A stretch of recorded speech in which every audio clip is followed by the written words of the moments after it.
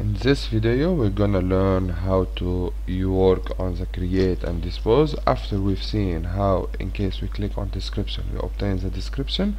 And whenever we click on letter F we obtain the flowchart. So I'm gonna do a program to fill in the create module and to dispose all the entities.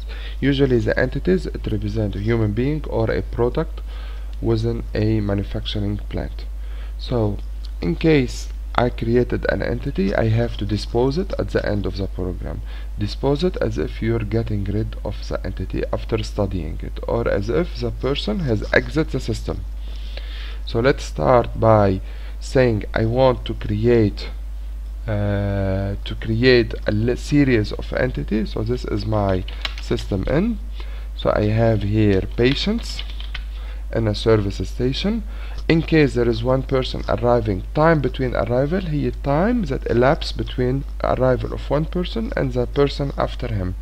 So in case we need constant arrival meaning that if exactly a person arrive one person arrive exactly every five minutes so it will be constant five minutes.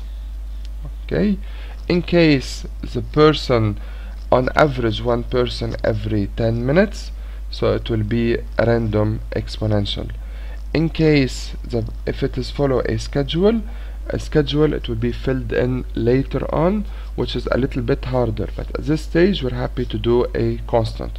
A schedule it will it's, it's the perfect scenario for scheduling a time between arrival is the example of supermarket. When we have different arrival rate at different time of the day the entities per arrival let's always let's set it to one.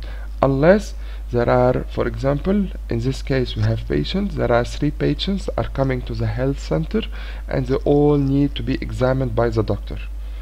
If the other way around there's one patient but is accompanied by his family members so we keep this number to one. In fact entities per arrival it means a number of people they needing the service the maximum arrival is the maximum entity the system will create before it stops. There are two ways for Arena to stop running either from the maximum arrival so by the time it finishes creating all the entity set up in the maximum arrival it will stop or by what's known as replication parameters which we'll see in the next video.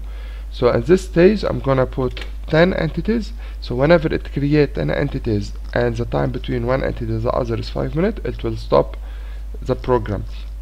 And the time the first creation is the running time when it creates the first entity. So we say here okay and we have here system out. Okay? So if we run the program and I could see 10 entities has exit the system. Okay?